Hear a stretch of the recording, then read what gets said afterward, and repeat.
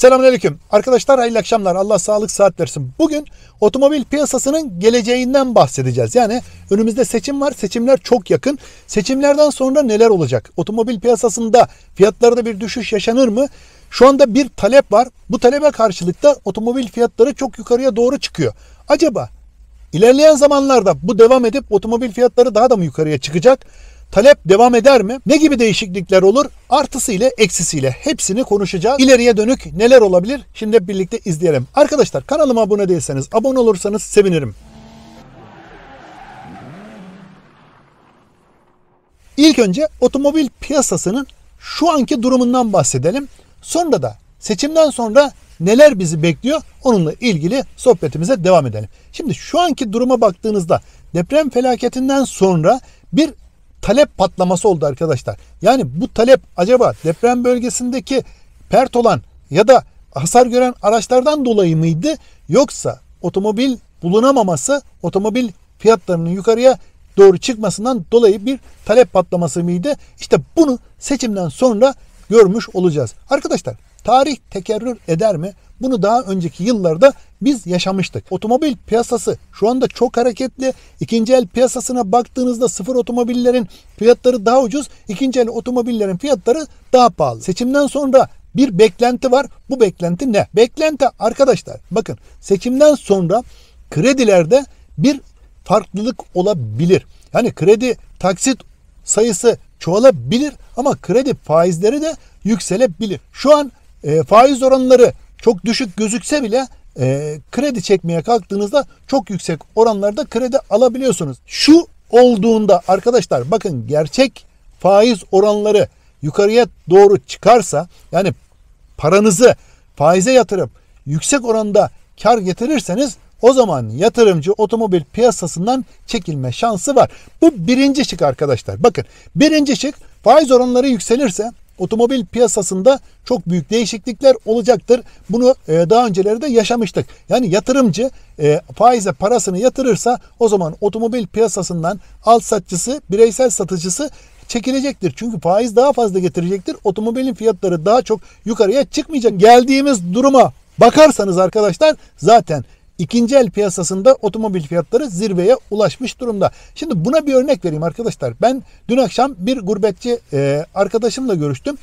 Daha önceki aldığı aracını 40 bin e, Kanada dolarını almış. Şu an aracı satmaya kalktığında 2 yıl sonra 30 bin Kanada dolarını satmak zorunda kalıyor. Yani aracın yılı geçtiğinde orada hemen hemen de e, 10 bin Kanada doları otomobili fiyat e, farklılığı yaşamış oluyor. Bizde de tam tersi şu an 2021-2022 arabalara bakın sıfır otomobil fiyatlarından yüksek olan sarı sayfalarda yazılan araçlar vardır. Yani birincisi kredilerle ilgili bir değişiklik olursa gerçekten otomobil piyasasında e, çok büyük bir değişiklik olacağına eminim.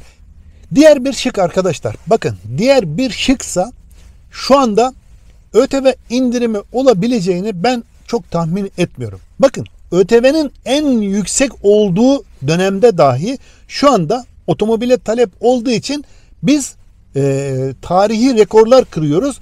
En çok e, otomobil satılan yıllardan bir tanesi e, hemen hemen de sayılabilir. ÖTV'nin yüksek olması otomobilin satılmasıyla ilgili hiçbir alakası yok arkadaşlar. Bakın ÖTV bazı araçlarda hemen hemen de %80 ee, ÖTV dilimine ulaştı.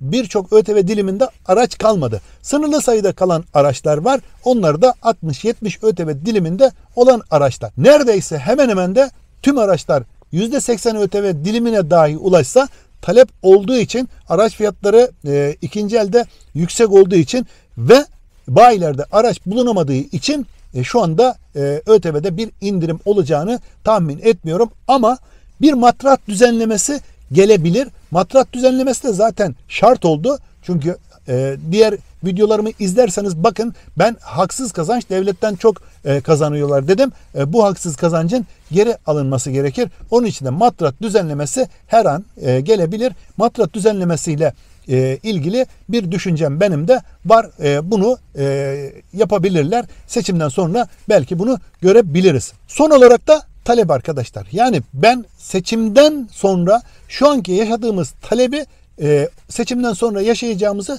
tahmin etmiyorum. talep e, çok olmayabilir. Fakat bu saydığım 3 şıktan bir tanesi dahi gerçekleşmiş olsa otomobil fiyatlarında bir esneme bir düşüş olacaktır. Arkadaşlar son olarak da bayilerde araç bulunabilirliği artarsa o zaman yine otomobil piyasasında bazı değişiklikler olabilir. Yani bu saydığım 3 şık yani kredi faizlerinin yüksek olması. Yani şu anki e, faiz oranları gerçekleri yansıtmıyor arkadaşlar.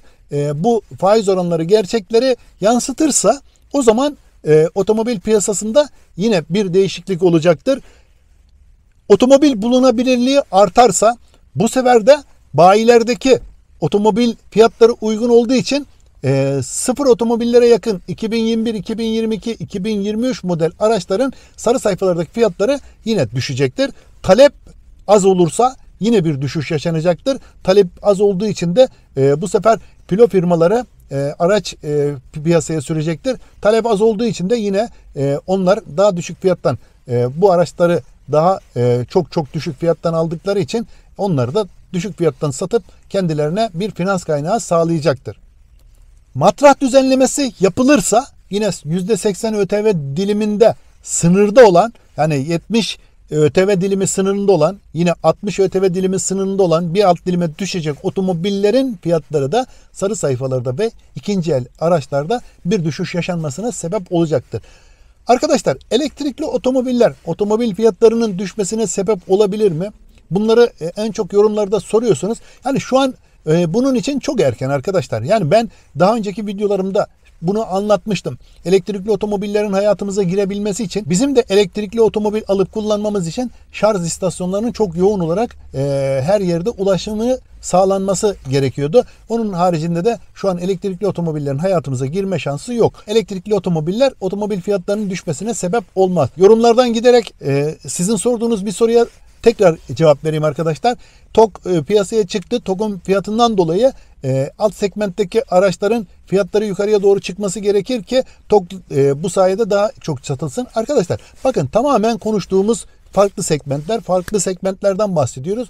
TOK bir SUV e, SUV araçların fiyatlarına baktığımızda en düşük Duster dahi 800-900 bin TL bandına yerleşti. Sarı sayfalara baktığınızda göreceksiniz. Onun haricindeki SUV'ların da fiyatlarına baktığınızda e, hemen hemen de TOG'un fiyatını geçen e, SUV araçlar var. Onun için bu segment e, karıştırmayalım. C segmentindeki sedanlar dahi e, yine TOG'un fiyatlarını geçmiş durumda. İşte bu artışların sebebi TOG'un piyasaya çıkmasından onun fiyatının açıklanmasına bağlamayalım arkadaşlar. Bence e, bunun e, hiç alakası yok.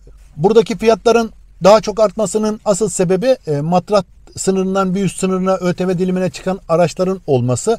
Yine e, talep olup e, ikinci elde sarı sayfalarda bazı araçların yüksek fiyattan satılması e, burada bayilerin de e, elden para alıp araç fiyatlarını yukarıya çekmesinden dolayı oluyor. Onun haricinde e, araç fiyatları e, normal rutin seyrinde devam ediyor. Kurda bir değişiklik olmadığı süre içerisinde otomobil fiyatlarına hiçbir zaman aşırı bir e, zam gelme şansı yok. Ama e, bazen yine yorumlarda yazıyorsunuz araca 35 bin TL zam geldi. Arkadaşlar bakın 35 bin TL zam geldi ama bizim bahsettiğimiz araç 700-800 bin TL bandında. Siz bunu yüzdelik orana vurduğunuzda askeri ücrete gelen zamla e, daha çok çok aşağısında. Yani e, benim demek istediğimi inşallah anlamıştırsınız. Aracın fiyatının çok yüksek olması, yüksek olmasından dolayı da bu gelen zamların eskiden 5-10 liraydı. Şimdi 20-25 bin TL gibi bir zam geliyor. Oranlamaya baktığınızda da düşük rakamlı zamlar olarak gözüküyor. Arkadaşlar sizin de bu konudaki yorumlarınızı bekliyorum. Bakın gerçekten sizin yorumlarınız çok önemli. Yorumlarınızın hepsini okuyorum. Çoğuna e, cevap vereceklerime cevap veriyorum. Cevap vermeyeceklerimize de okey yapıp e, kalp e, tuş, tuşuna basarak sizin e, bu yorumlarınızı okuduğumu size e, göstermiş oluyorum. Yorumlarınız her zaman benim için çok önemlidir.